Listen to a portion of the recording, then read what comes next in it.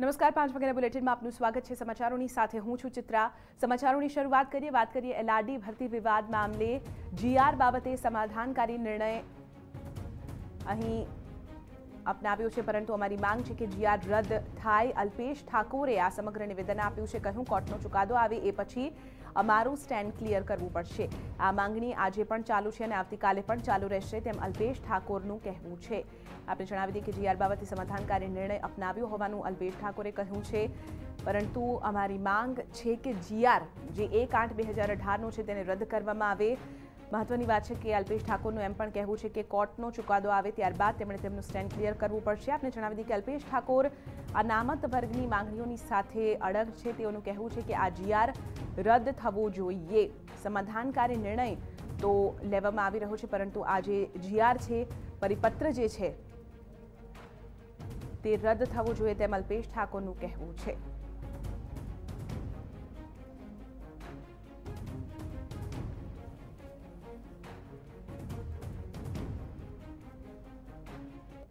આજ મુદ્દે વધુ જાણકારી આપી રહ્યા છે ટીવી નાઇનના સંવાદદાતા પ્રતીક જાદવ પ્રતીક જે એલઆરડી ભરતીનો સમગ્ર મામલો છે જેને લઈને અલ્પેશ ઠાકોરે અહીં કહ્યું છે કે સ્ટેન્ડ તેઓએ આગામી દિવસોમાં ક્લિયર કરવું પડશે ખાસ અલ્પેશ ઠાકોરનું શું કહેવું છે આ સમગ્ર મામલાને લઈને?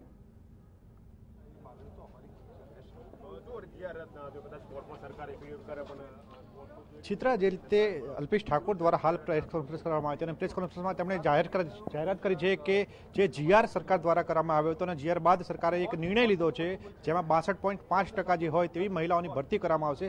અને આમના નિર્ણયથી અલ્પેશ ઠાકોર અલ્પેશ ઠાકોર છે, ખુશ છે, પરંતુ એટલે મહિલાઓ છે, તે મહિલાઓ હજી આંદોલન કરી રહી છે, તેમના નિર્ણયને આવકારી રહ્યા છે. ત્યારે આગામી દિવસોમાં હાઈકોર્ટમાં જે મામલો છે, તે મામલો હાઈકોર્ટમાંથી ચુકાદો આવ્યા બાદ અલ્પેશ ઠાકોર દ્વારા આગામી રણનીતિ ઘડવામાં આવશે અને રણનીતિમાં શું નિર્ણય કરવો તે પણ જાહેરાત કરવામાં આવશે. આપણી સાથે અલ્પેશ ઠાકોર જોડાયા છે. તેમની સાથે વાત કરીશું કે તેમનું શું માનવું છે.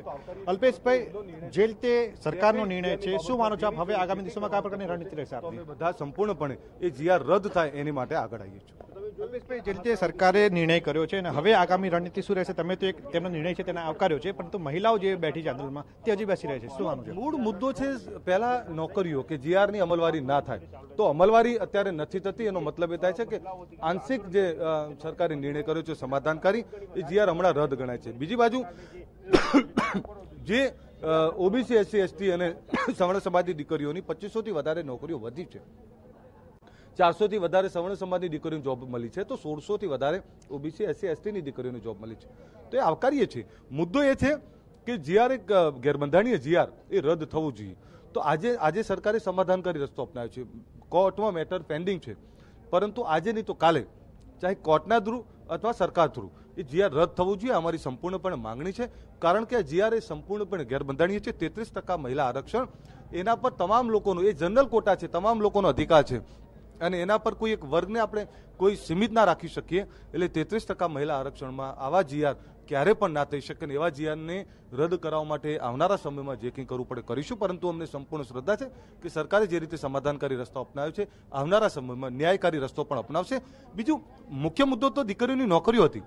એલઆરડી એટલે ગૃહ વિભાગની સૌથી નાની પોસ્ટ. હવે નાની પોસ્ટમાં લોઅર મિડલ ક્લાસના દીકરા દીકરીઓ આવતા હોય અને આ જે દીકરીઓને જોબ મળી છે, એ ચાહે કોઈ પણ વર્ગની દીકરીઓ હોય સવર્ણ સમાજની હોય પછાત સમાજની હોય આ બધી જ દીકરીઓ એ ગરીબ દીકરીઓ છે. અને ગરીબ દીકરીઓ જ્યારે એમને નોકરી મળી હોય ત્યારે સંપૂર્ણપણે મારી સંવેદના સાથે હું આવકારું છું. બીજી બાજુ આ આંશિક નિર્ણય કર્યો છે સરકારે તો સરકાર સંપૂર્ણપણે ન્યાયકારી નિર્ણય કરે એવી અપેક્ષા રાખી છે આ ટેમ્પરરી સોલ્યુશન કહી શકાય પણ શું આપ માનો છો કે જ્યારે પણ ભરતી થાય ત્યારે આવી રીતે આંદોલન કરવું પડે? સાઠ સિત્તેર દિવસ બેસવું પડે માનો છો આવનારા સમયમાં હવે કોઈ આંદોલન આ જીઆરને લઈને નહીં કરવું પડે એવી મને સંપૂર્ણ શ્રદ્ધા છે. જીઆર તો રદ આજે નહીં તો કાલે કરવો જ પડશે. એ ગેર સંવિધાનિક જીઆર છે અને એક રીતે ગરીબોને અન્યાય કરતા જિયા છે. તો એ જીઆરને આજ નહીં તો કાલે તો રદ કરવો જ પડશે. એટલે આ જીઆરને લઈ અને હવે કોઈ રસ્તા પર ના ઉતરવું પડે તો સારું. કારણ કે સરકાર આના માટે સંવેદનાથી વિચારે અને એ જનરલ કોટા બધા માટે છે. એટલે સરકાર સંપૂર્ણપણે જીઆરને આવનારા સમયમાં રદ કરશે એવી મને આશા છે. આજે તમે ગાંધી આશ્રમથી ગાંધીનગર સુધી પદયાત્રા કરવાના હતા. હવે પદયાત્રા ક્યારે થશે?